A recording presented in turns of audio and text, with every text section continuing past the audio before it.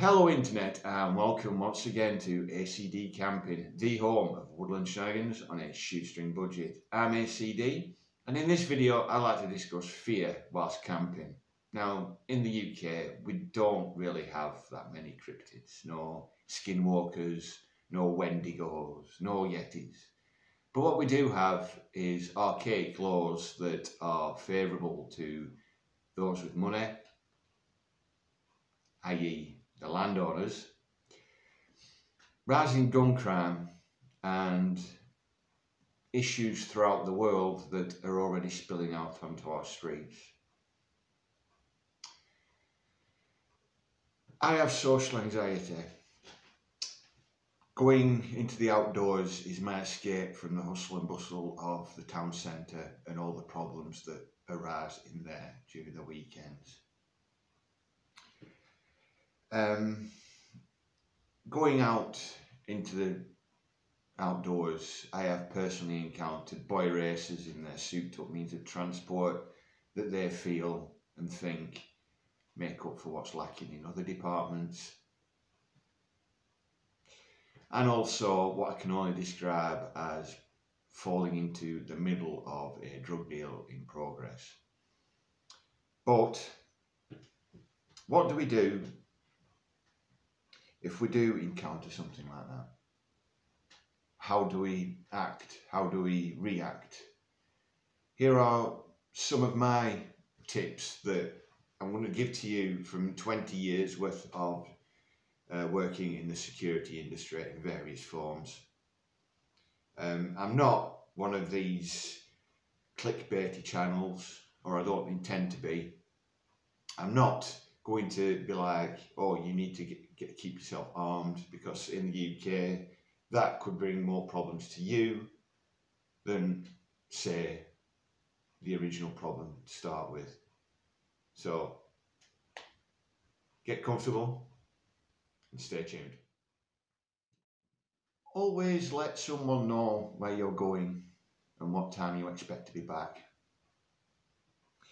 Keep calm. If this is your first time wild camping, the sounds that you hear at night can literally play tricks on your mind. You will probably see things that will confuse you in the dark. Is that a tree rustling or is there someone in the background? Keep calm, deep breaths. Evaluate the location. Take a look around breathe again always go with your instinct. That feeling in your gut telling you that something's not right. If it makes your experience more enjoyable, find a more suitable site. Plan your trip in advance. Study the map of the area that you intend to camp out at. Then, before you set a date, take a day hike and check the location in person. Um, make a note in advance of not only the spot that's caught your eye, but also one or two other fallback options. Once you've arrived at your area that you intend to camp out at, before it gets dusk, before it gets too dark to see anything, before you've even set up, have a look around the area. Does it look like people have been there recently? Is there mess on the floor? Are there things that don't look right? If so, you can always use one of your fallback options. Assess your fears beforehand. Statistically, the three biggest incidents you could face whilst out camping and hiking that could require an emergency response are falls, heart attacks, and in some parts of the world, animal attacks. In the UK, think of that as encountering a reckless owner with a dog off its lead. They should be following the countryside code. Attacks, although rare, do happen, as seen in the mainstream media recently. So, that nagging thought about being abducted by aliens, think it out rationally and prepare for the terrain and probable things that you could face. Don't camp near inclines. bodies of water. And if you do encounter a dog that looks like it's been fed mainly on steroids and brought up with no social interaction whatsoever, do not engage in eye contact with them. Curl up into a ball. Speak softly to the animal. This can apply to not only dogs but any other animal that you may encounter. Do not act aggressively and the dog will act accordingly. Take something to do. When I go camping and I'm going to make a video, I will always either bring something to review or something that I've made at home and I can show you how I use it out in the wild. But if this is going to be your first time camping or um, the, the first time that you've been out on your own, then take a book with you. Um, maybe something about the local area in which you're camping. That, that could be an interesting way to help you through the night and also however long you're staying there. You could also take a, put a playlist of your favourite songs on your phone and then you could listen to it. It may help you fall asleep at night. Become best friends with your navigation kit. Uh, before you go on your trip in the pre-planning stage, mark in pencil the route that you're planning to take and also any areas of interest that you may encounter. Familiarise yourself with the use of a compass. I go into greater detail on how to use this in the Tendencies of Survival playlist and also the first video on the Getting to Grips with playlist. Now, if you find yourself in a heavily wooded, unfamiliar area, always pack a roll of brightly coloured tape. You can use this by taking a small piece, wrapping it around a tree branch at eye level, and then at least then you know you have a means to make your way back to the route that you've come from.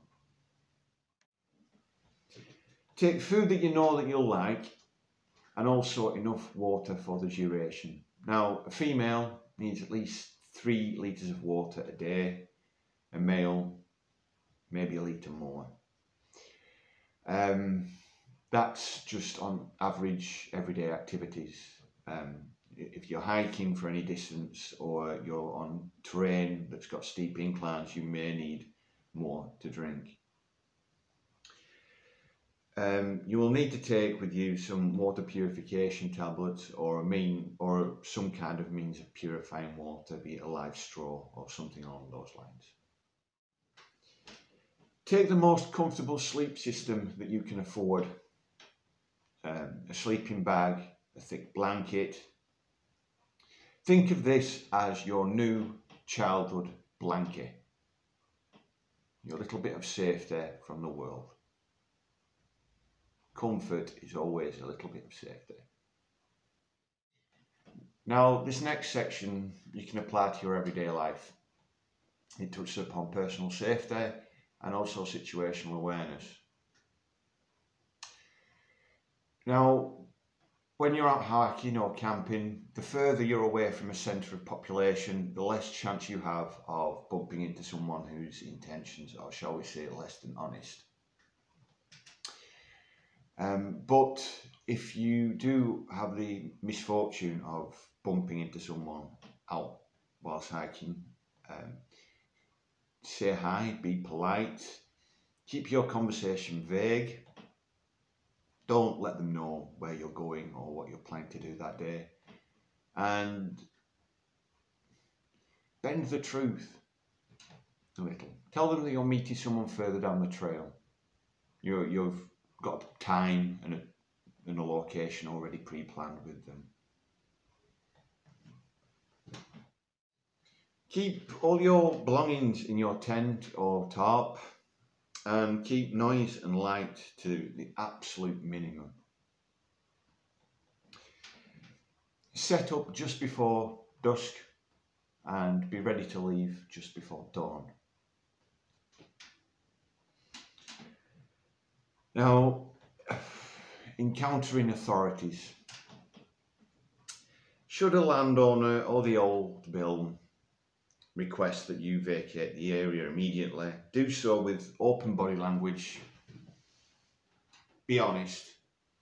Do as the, the authority has said. Not with folded arms. Not looking like you're in a huff. Try and keep the situation as level as possible. Don't act like the big man. Don't act like the world revolves around you. They probably feel like the world revolves around them. So it could end up with a situation where an unstoppable force meets an immovable object. Now, in this video, I've addressed one of my biggest fears. I've battled my social anxiety and I've appeared, on video. Um, and now that I've got past that barrier, I'm hoping to bring you more um, topics and lots more interesting hints and tips to, that you can use as a first timer or someone on a small budget. Now, I'm not, and I don't aim to be one of these clickbaity channels. You know, you'll you'll see them with the thumbnail and like pointing at some thing in the distance that's probably a tree. You know, okay, fair enough. And then you click on the video and it has nothing to do with what they've talked in the thumbnail. Uh, you know. Anyway, I'm rambling. I do apologise. But in this video that I've just produced for you, um, I'm, I'm hoping that not only can you use them whilst you're camping, but you can use this skill set and apply it to your everyday activities, be it at work or out on the town. That person by the bar, why do they keep looking at my bag? that person at the workplace, what is he, what's he doing? You know, I, I don't mean to get you paranoid, but there's a lot going on in the world. And I, I feel that this was the perfect time to release this video, write it, produce it, and put it up on the internet for you to watch and hopefully learn something and enjoy. Um, I'm going to try and steer away from other channels. I'm not going to be addressing the problems of the world. I I have no experience on a battlefield. I have I'm not a, what you would call um, a weekend warrior. I'm not one of those that's got a load of army gear and they'll dress up and run around the woodlands thinking that they're squaddies. I'm, I'm not one of those people. Um, I'm trying to be as honest and as forthright with you as possible with all the videos that I make. And I'm just hoping that this video is of help to some of you out there. And thanks for watching. Please like and subscribe, share this video with your friends, and I'll see you in the next video. Peace.